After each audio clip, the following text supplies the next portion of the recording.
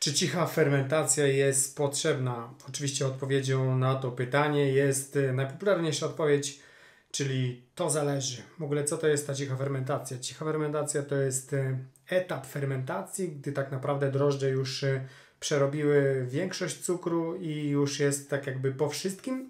No i cicha fermentacja to jest moment, kiedy te drożdże jeszcze coś tam dojadają, przetwarzają jakieś inne składniki tak, żeby już uzyskać właściwe i dobre piwo. No i tak, generalnie, generalnie cicha fermentacja moim zdaniem jest e, niepotrzebna. Można zrobić każdy styl piwa, nie używając, nie stosując w ogóle cichej fermentacji. Ale czasami ta cicha fermentacja się przydaje. Do czego się przydaje? Na przykład, jeżeli chcemy chmielić na zimno, i dodatkowo chcemy zebrać gęstwę z danego piwa.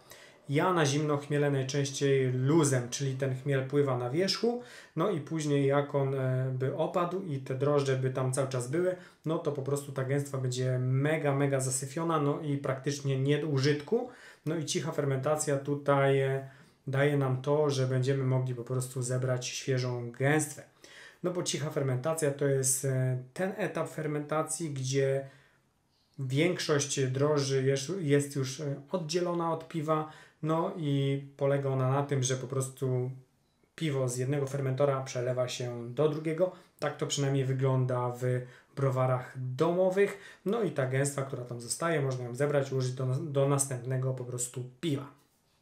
No i moim zdaniem, jeżeli nie chcesz zbierać gęstwy, no to fermentacja cicha w takiej postaci, że po prostu jedno e, piwo z jednego fermentora przelewasz do drugiego, i nic z tym generalnie nie robisz, no to ten etap nie jest tak naprawdę potrzebny. Ta fermentacja burzliwa i cicha może równie dobrze odbyć się w jednym fermentorze bez oddzielania tej gęstwy drożdżowej. No i możesz dodawać tam jakieś dodatki, chmiel i tak dalej i piwo wyjdzie na pewno dobre. No, ja stosuję fermentację cichą poprzez właśnie zlanie do drugiego fermentora, jeżeli chcę zebrać gęstwę i tylko wtedy. Dobra, ile czasu powinna trwać e, ta fermentacja cicha? Oczywiście to też e, zależy. No i generalnie fermentację cichą powinieneś zaczynać robić w momencie, gdy już e, znakomita większość fermentacji jest jakby skończona i już tak naprawdę piwo jest zrobione. No i w momencie, gdy już przelejesz piwo z jednego fermentora do drugiego fermentora, po zakończonej jakby fermentacji, no to pobierasz sobie tą gęstwę, dodajesz tam chmiel, no i ile czasu to wszystko ma tam trwać. No, tyle ile trzeba. Po prostu tyle ile chmie czasu chmielisz y, na zimno, może być to 2 dni, 5 dni, tydzień nawet, potem jeszcze z cold crashem, czyli 2 tygodnie, powiedzmy 2 tygodnie cichej, no to y, nie jest y, jakaś, mm, jakiś duży czas. Czasami też takie robiłem po prostu fermentacje ciche, że chmiel leżał tydzień, tydzień trwał cold crash i piwo fajnie wychodziło. No także tutaj nie ma jakby takiego określonych e, ram czasowych, no ja bym to przyjął, że to jest między powiedzmy dwa dni a dwa tygodnie. To są takie widełki, kiedy mm, ta fermentacja cicha poprzez przelanie do drugiego fermentora ma jakiś e, sens.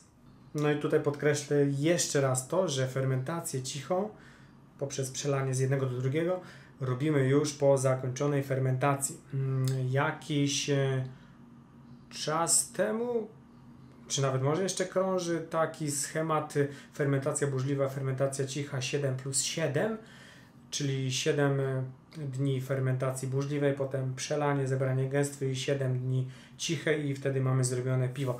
Jest to schemat, który sprawdza się tak naprawdę w małej ilości piw. Mm, piwa lekkie, górnej fermentacji, nie wiem, jakieś apy powiedzmy, które, w której wykorzystane są drożdże, które dosyć szybko pracują, że tak naprawdę po tych 7 dniach tej burzliwej już mamy piwo, no to wtedy rzeczywiście można przelać to na kolejne 7 dni, dodać miel jakiekolwiek inne dodatki, no i no i wtedy to się może sprawdzić. No ale chyba w większości piw to jednak się nie będzie sprawdzać. 7 dni fermentacji burzliwej to jednak może być troszkę za mało. No jeżeli już po 7 dniach oddzielimy piwo od y, tej warstwy drożdżowej, no to też y, może nam się troszkę naprodukować aldehydu, bo jednak 7 y, dni kontakt z drożdżami to czasami może być za krótko. Dobra, jak to się ma z owocami? Bo czasami na cichą fermentację dodajesz jakieś owoce, nie wiem, mango, marakuja, maliny, cokolwiek. No i nawet jak już e, zlałeś do drugiego fermentora, zebrałeś gęstwę i dodałeś owoce. Jak najbardziej e, taka metoda jest e, bardzo dobra, no pod warunkiem, że już ta główna fermentacja jakby się zakończyła. No i tutaj musisz wiedzieć, że owoce, czy też jakieś inne dodatki, na przykład chmiel, potrafią pobudzić fermentację, czyli Tutaj nie zaryzykowałbym po dodaniu powiedzmy malin, że po dwóch dniach już będę butelkował, bo tam te drożdże jakby zostały pobudzone i cały czas mogą coś tam pracować, no i nie wiadomo do końca jak one się później zachowują, zachowają, jak tak szybko dodasz, wlejesz piwo do butelek, także przy owocowaniu piw na cichej to na pewno bym gdzieś co najmniej tydzień czasu trzymał te owoce, tak żeby już te drożdże znów wróciły do takiego stanu spokojnego i już nic tam w piwie nie robiły. No i kolejnym takim punktem na nie, jeżeli chodzi o fermentację cichą, w momencie, gdy nie zbierasz gęstwy drożdżowej, no to jest to, że każde przelanie piwa z fermentora do fermentora to jest ryzyko. Raz, zakażenia, dwa, utlenienia piwa i wiąże się z tym to, że po prostu nam piwo nie wyjdzie i zwiększasz ryzyko tego, że będzie kupa, a nie dobre piwo. Po prostu.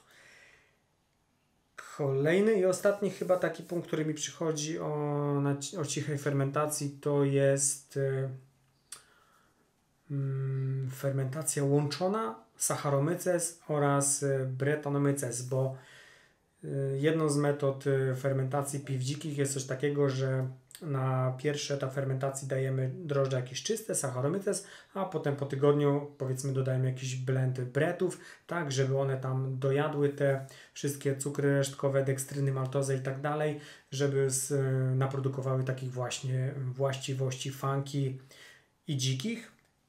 I tutaj pytanie, czy po tej pierwszej fermentacji wyrzucić te drożdże Saccharomyces i dopiero dodać brety? Odpowiedź jest prosta, nie. Dlaczego nie? No bo te Saccharomyces już jak sobie tam umrą i rozpadną się w procesie autolizy, bo oczywiście ona zajdzie po jakimś czasie, no to te komórki drożdżowe Saccharomyces się rozpadają i w tym momencie dla bretów to jest jakby dodatkowa taka pożywka i one z tego mogą naprodukować więcej takiego charakteru funky, takiego charakteru dzikiego i to może wyjść piwu na dobre, po prostu. Także jeżeli robisz fermentację mieszaną, to te drożdże Saccharomyces zostaw w fermentorze tak jak są. Dopiero dodaj potem brety. Jest szansa, że będzie bardzo dobrze. I, I to chyba tyle, jeżeli chodzi o fermentację cichą.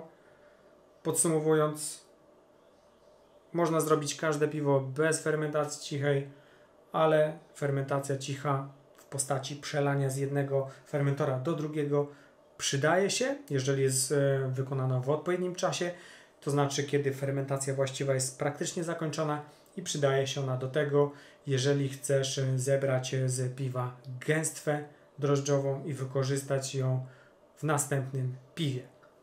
To tyle, jeżeli chodzi o fermentację cichą. Na razie trzymajcie się.